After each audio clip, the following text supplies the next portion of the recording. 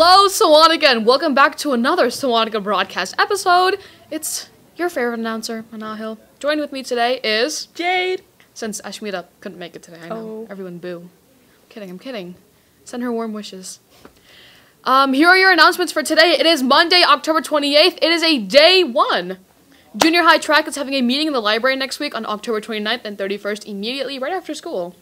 The Sewanhaka Muslim Stu- Student Association will be meeting today right after school in room 219B.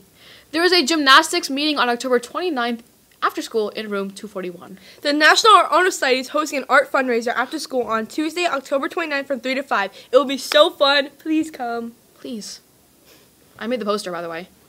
Advanced ticket sales are $7. All participants will get a pumpkin to paint and various other arts and craft activities, and there will be prizes. Partial of the proceeds will be going to the North Shore Animal League, so please, please get tickets. They're going to a good cause. You can see Mr. Hendrick by this Friday for tickets. Do not miss out on a scary good time. Here's a flyer for that. Attention all influencers! Do you have a passion for creativity and love sharing it with your audience? Here's your chance to show it off your skills and win big. The Sewanhaka Art Department is hosting an exclusive influencer video contest. We're calling on all content creators to make a dynamic, engaging video that promotes our amazing art classes and departments. For more details, visit the art department and scan the QR code for photos and videos that you can use.